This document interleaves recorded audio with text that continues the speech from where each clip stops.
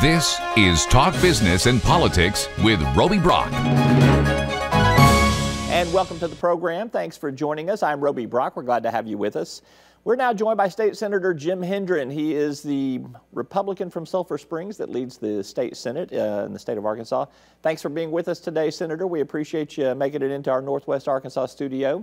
Let's begin with our uh, with the governor's tax cut plan. Ninety-seven million dollars uh, will benefit the top one percent of tax earners the most. And here, the biggest argument has been that Arkansas is not competitive with other states, and we needed to get our tax rates in line here. Is that really the argument that you hear from economic development officials, or is this something that just needed to be done on paper to make us look a little bit better? Well, it's a little bit of both. We have heard that argument, and I and I think it's factual. Uh, all, all one has to do is look at the map and see how much higher our top rate is compared to every state around us, and it becomes clear that uh, we're not competitive when you start talking about uh, competing with these other states for recruiting businesses. And it was also part of the long range plan to cut taxes for everybody. And over the last four years, we've cut them for middle income earners and for low income earners. And we have saved intentionally the high income earners until the end because certainly uh, they were not a priority over low and, and uh, middle income earners. So it's just a continuation of the long range plan to make Arkansas more competitive in a fair way. Uh, but we did make the high income earners wait until the end. But it is important that everybody get tax relief, and that's what this bill accomplishes. And you have pointed out that there were uh, tax cuts for those low and middle income earners in previous sessions here. But the chorus of opposition this year has been that uh, this tax cut is a tax break for the rich. At the same time, you are going to be asking for some increase in gasoline taxes as part of the governor's highway program. Um, how, how, do you counter that argument? Because you are giving a tax break to the top 1%, and you are asking the little guy to pay more in gas taxes.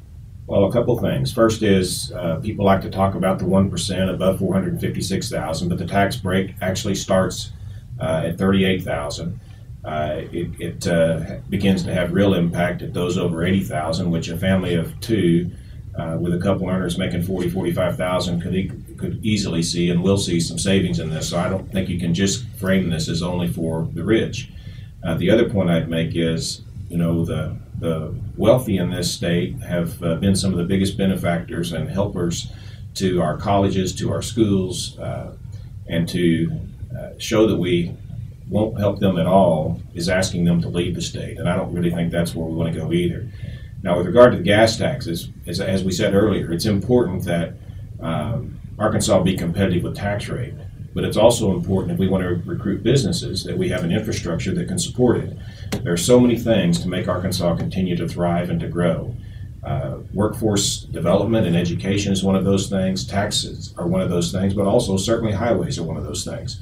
So without raising gas or diesel taxes, what we're going to do is ask the people of Arkansas to shoulder the entire burden of Interstate 40, which is used primarily for interstate transit from people coming across Arkansas, uh, and asking them to shoulder none of the burden. So it's appropriate that we, we look at the user type, user funded method, and that's what gas and t- diesel taxes do. So we're, we're trying a multi pronged approach here to make Arkansas more competitive. Lower tax rates, and better infrastructure. And I think it's going to pay off. All right, let's talk about that highway plan. The governor rolled out a $300 million a year tax plan. A half cent sales tax would become permanent if voted on by the voters.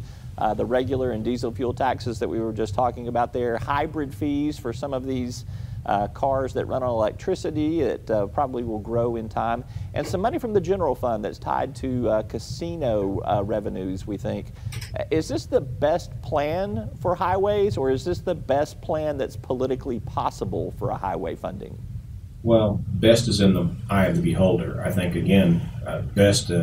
Best would be an amazing highway program that costs nothing, but it's not possible. So somewhere between um, something we can't afford and something that is uh, not going to do the job, we think is the solution. And I think this falls into that area. The casinos were sold to the people of Arkansas with a clear uh, marketing plan that this was going to generate some revenue for roads. So it's appropriate that that additional revenue go to roads. It's also appropriate that Arkansas show effort with regard to general fund transfer without depleting our ability to take care of the educational needs of our teachers, of our state police, of our, of our higher education. And, I think this plan does that. The other thing that's not talked about a lot is the reason, in addition to making this half cent permanent, the other thing that it does is it makes it a pay as you go system. which is going to save 20% as we to the system we have now with regard to how we finance our roads. So think about that. Every time you build a fourth mile, four miles of highway, instead of paying another mile for uh, bonding fees, you get another mile of highway because of the efficiency of the program. So I think there's a lot of selling points for this to the people of Arkansas. People of Arkansas understand that highways are not free, and I and I have got nothing but support from the folks back in Northwest Arkansas on a program like this. So the $300 million question is, do you think you have the votes to pass this on the Senate end? Oh, I think so. The we filed the bill yesterday afternoon. It only requires 18 votes to pass, and we have 22 co-sponsors. So I feel this is a this is still a lift. Anytime you're asking a Republican legislature to to pass a bill that includes some uh, hikes in fees and taxes, but again, the fact that we're starting out with uh, more than enough co-sponsors to pass the bill gives us a good indication that we're in a good position to pass it. And I think we'll pass it next week. All right, let's shift our attention. Let's talk about UAMS. Uh, the state's uh, premier medical uh, school here is pursuing a National Cancer Institute designation. Uh, that bill, I believe, is uh, headed towards the governor's desk in terms of just the status, but it does require 10 to 20 million dollars a year in funding uh, for that NCI designation. Where is that 10 to 20 million dollars a year going to come from? Those are the discussions that are ongoing. And, and Senator Irvinston and, and all the ladies that have worked so hard on this and others have done an amazing job of shepherding this through the legislature. And uh, I talked to them early and said, let's let's get the enabling legislation passed.